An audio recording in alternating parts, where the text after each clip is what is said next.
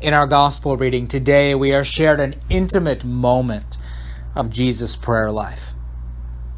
Jesus is praying to the Father for us. He wants us to be one in community, unified as Jesus and the Father are one. He wants to bring us into attunement with each other and with God, a way of relationship that is about mutual love. Jesus prays that the life of his followers will be characterized by the intimate unity of identity with God.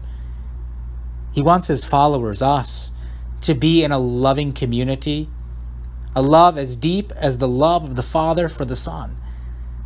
And the mode for us to become a part of this community is Jesus himself. Jesus is the way that we are brought into attunement with each other and with God. Jesus is the way that we become one. I'd like to talk about both of these things with you today. Being in tune with each other in a faith community, and two, being in tune with God, because you see, as Jesus points out, these are not mutually exclusive ideas. Now, I think human beings often appreciate a feeling of attunement. When everything seems to have its place in the system, when life is balanced. You have your place, so does everything else. You can see the big picture and you find a sense of joy and peace in recognizing it. I've experienced this myself many times while on a nature hike or listening to a good piece of music. You know that feeling maybe it doesn't happen as often as you like, but I know you've experienced it before. It's a moment of ecstasy where the world just seems to make sense, a moment when God breaks through. And this type of attunement, too, can happen in community, not just on a nature hike or when you've got your headphones on. In church here, I hope you get that feeling of attunement, a feeling of unity or oneness with each other. You know, that's one of our goals in the church, for you to experience this, because Jesus told us he wants it for us. And we are quite direct in pursuing this lofty goal. One of the ways we do it here, one of the ways we try and make sure that you feel a part of something bigger than yourself is with singing the hymns and psalms. Attunement is the reason why we begin in quiet reflection as a community listening to a centering prelude. Unlike so much of life, here in this place, you aren't alone in what you're doing. All of us, for a moment, are doing the same thing opening ourselves up to God's action in our lives. It is God who prepares our hearts and minds for worship. And as one, we let God in. Welcoming God is our purpose for being together, despite the variety of backgrounds from which we have come today. And then it continues more and more. As one voice, we lift our songs of praise directed toward God. Some of us with musical gifts, others like me hiding my voice in the background. But the beauty of it all is that together, we genuinely raise a joyful noise for our praise of God in ways that we could never do on our own. With the word that we sing, we are also even sharing in the heavenly choir, lending our voices to the choir of angels who sing around God's throne 24 7. Yes, whether you saw it this way or not before, we begin our worship by coming together in ways that are a little strange for this world. In ways of peace and love and unity that you can't find in many places these days. Just think of the psalm we read or can't together. Where else have you ever done that? Here, it's just another one of those ways that the church practices bringing us into unison. voices raised together, ready evermore to continue in this new way where we aren't alone anymore. I mean, just think about the ways that we are actually one as we are here in worship on Sunday mornings. For an hour, we set down our phones, we stop reading different things, and we focus together on Holy Scripture. We all hear the same message shared of how God is reaching into our lives and bringing us into a community of love and a relationship with God that will last even beyond the bounds of time and space. And it's not a coincidence that when you come up to share in Holy Communion, we share one loaf of bread and share in one cup of wine. It's Jesus' body and blood in which we share. Together we are becoming one. He has brought us here to be one with each other and with Him. In church, everything we do is about that unity He wants for us, that oneness with each other and with God that He talks about in the gospel today.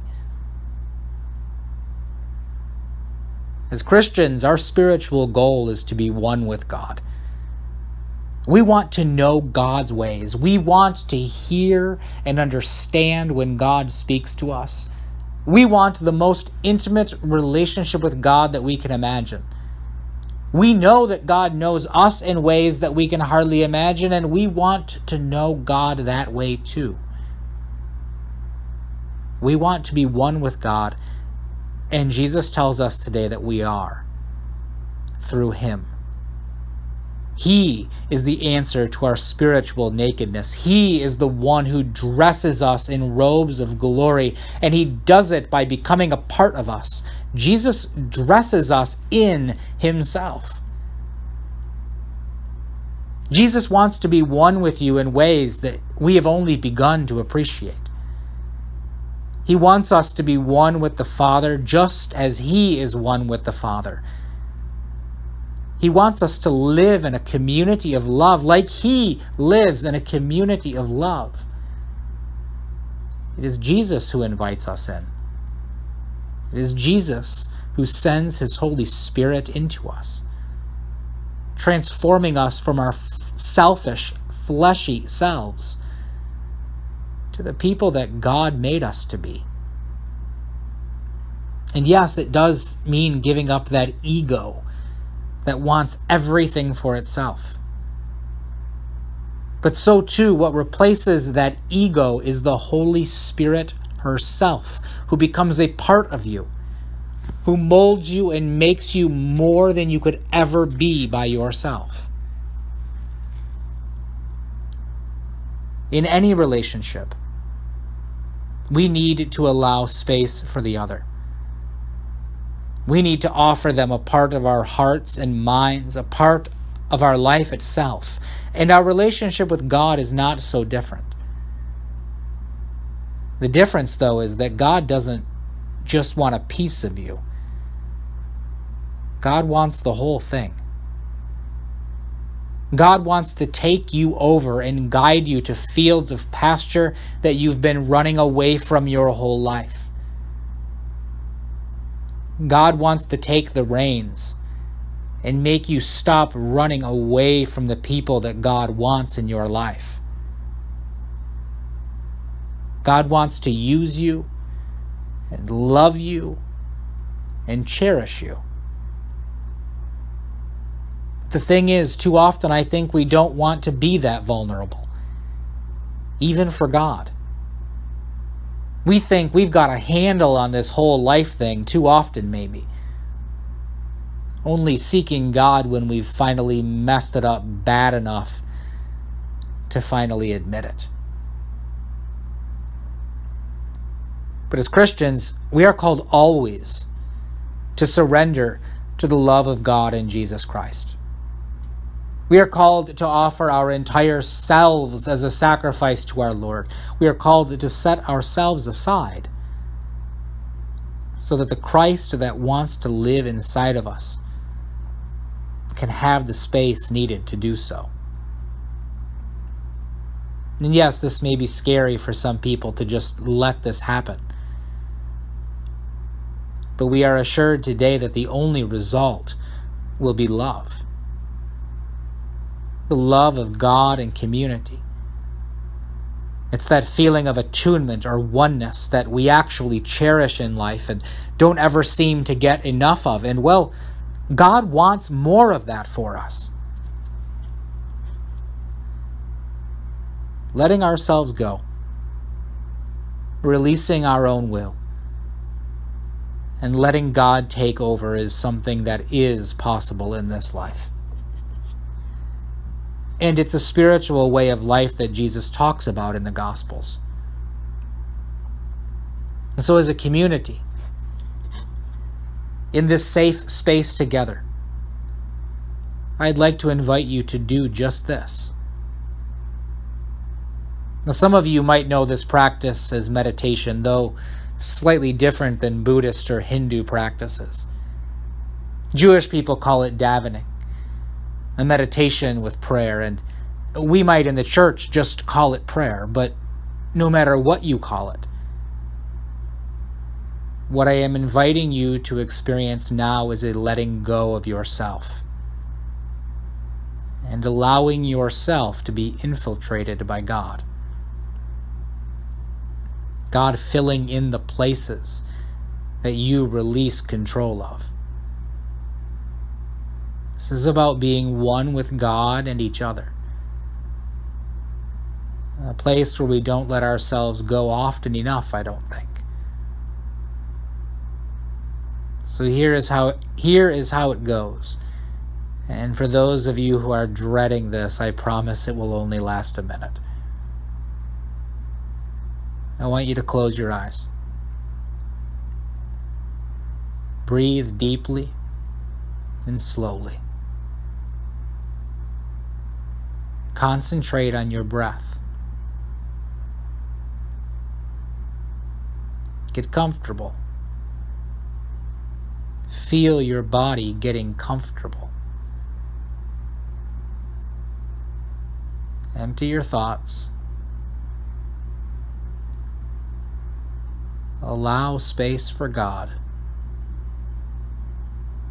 And breathe.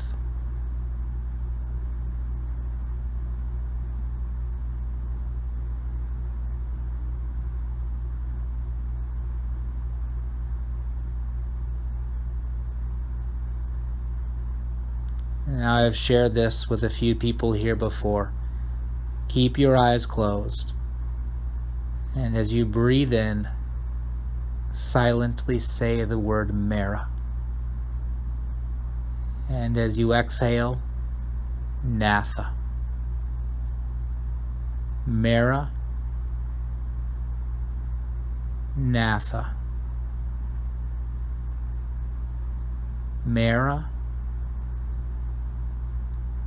Natha, Mera, Natha.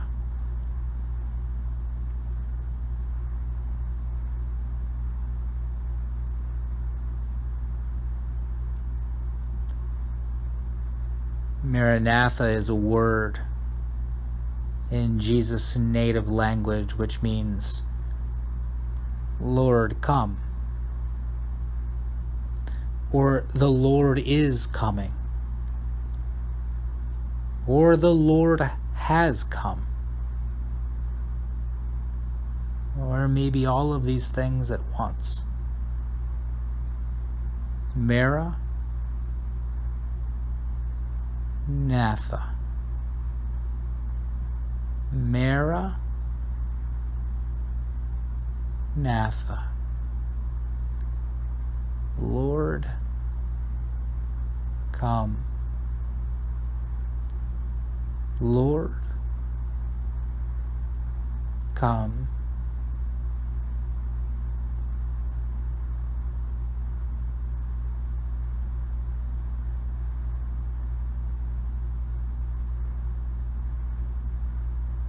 Keep going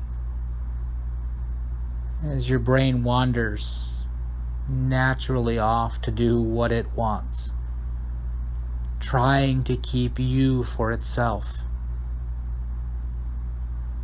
I remind you to bring yourself back to the centering prayer. Mara, Natha.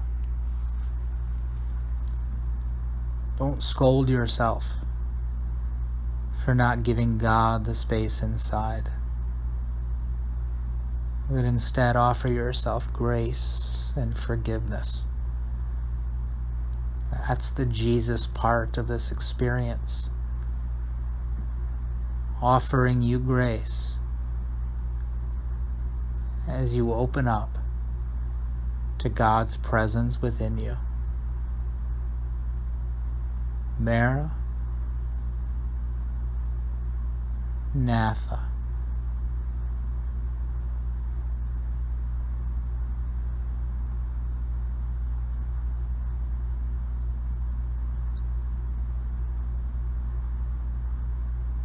Lord Jesus, you have found us deep down within ourselves. You have come into our community and made us one with you and the Father. Your Holy Spirit rests within us now.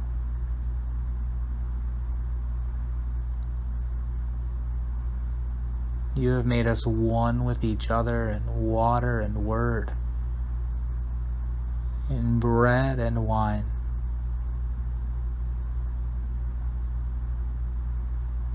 Like the cross, your love for us is deep and broad.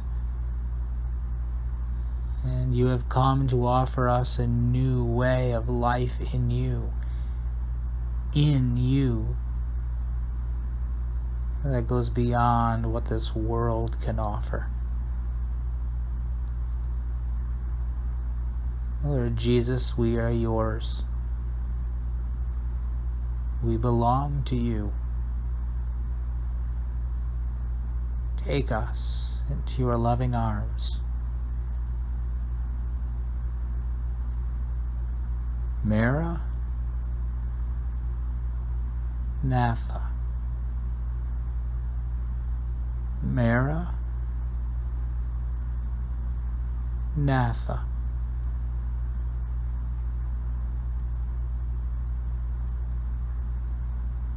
You may open your eyes. And we continue our worship now in an even deeper attunement, a oneness with God and each other, raising our voices together once again as we sing our hymn of the day. We are one because Jesus has made us one. Amen.